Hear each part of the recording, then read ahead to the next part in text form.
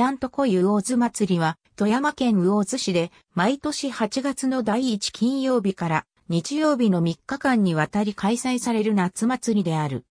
1970年に、魚津観光祭りとして第1回が開催され、1987年より現在の名称となった。また以前は8月7日から3日間の開催であったが、観光客の増加や建物の引き回しのボランティアの確保を目的に2007年より現在の日程となった。1日目、建物祭り、2日目、建物祭りと会場花火大会、3日目、ブラスバンドパレード、競り込み長録流しなどが行われる。なお、ジャンと恋は、競り込み長録の林言葉であり、たくさん来てくださいという意味も込められている。建門祭りと競り込み長録は、共に2006年に、と山の文化財百選に選定されている。2020年4月15日、新型コロナウイルス感染症の拡大を受け、関係諸団体はこの年の開催中止を決定した。建門祭りの神事のみを行われる。建門、諏訪神社の各記載例である。第1回魚津観光祭りより、当イベントの一つとなった。1997年12月15日に国の重要無形民族文化財に指定され、2016年12月1日にはユネスコの無形文化遺産に登録された。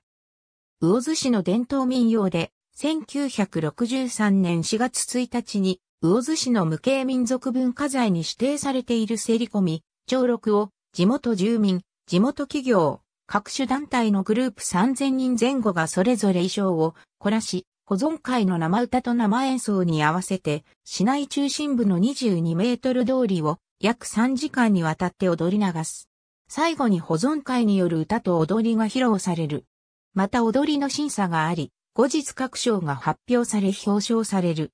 花火会場花火大会は、魚津港沖の大船から打ち上げられる。新川地区最大の2000発。期限は、魚津町時代から毎年8月25日に行われてきた魚津八幡宮奉納花火大会で、当時は角川の堤防で行われていた。1953年の市政2年祝賀の花火大会より大規模なものとなり、1955年の魚津港で打ち上げ予定の大会が日本カーバイド工業魚津工場からの会場変更の要望や危険物貯蔵箇所に近いことなどから中止になったのを経て、1956年より魚津水族館裏の会場で実施。その後1988年より現在の魚津港での打ち上げとなった。他にも、京伝七夕祭り、灯籠流しなども行われる。また、1983年には青森子供ねぶたも参加していた。ありがとうございます。